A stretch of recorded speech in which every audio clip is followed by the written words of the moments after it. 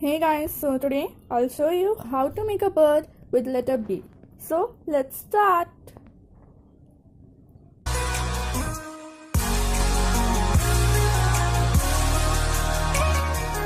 Material required a white sheet, black marker and colorful pencils.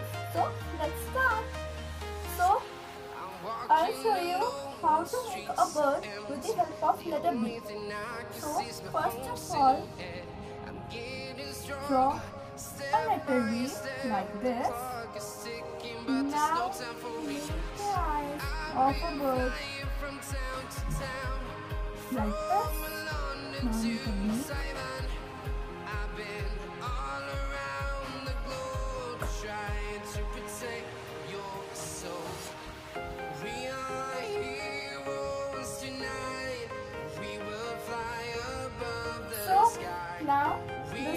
like this.